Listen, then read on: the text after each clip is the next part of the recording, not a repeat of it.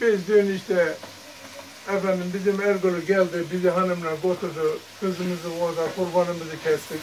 Ona Üç kişiyi kestik Allah izin. Çok şükür Mevlam kestik. Allah herkese nasip etsin.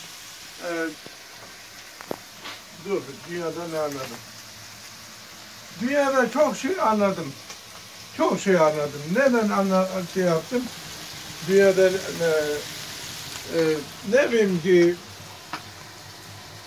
e, anladım dünyada da ama e, dünyanın öte biz e, ulaşamadık başka. Dünyada ne anladım? Dünyada her şeyi anladım. Niye anlamayacağım ki dünya? Allah'ın emrini anladım. Peygamberin sünnetini anladım. Efendim insanın ne olduğunu anladım. Yalnız insanlar boş. İnsanlar boş. Allah'ın emrini tutmuyorlar. Peygamberin sünnetini tutmuyorlar.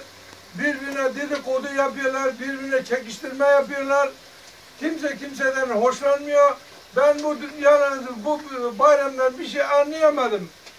Sevgili efendim kardeşimin oğlu dünya Sultan Süleyman'a kalırdı. O da çekti bir iki kapılı bir han. Bir kapıdan girdi, bir kapıdan çıktık. Ah, var mı başka bir şey? Ee, şeyimizi, bayramımızı yaptık. Eski bayramlar ge- geçmiş, eski bayramlar yok, hiçbir şey yok, yok da yok. Ha, şimdi şu anda da ondan sonra kavurma yapıyorum.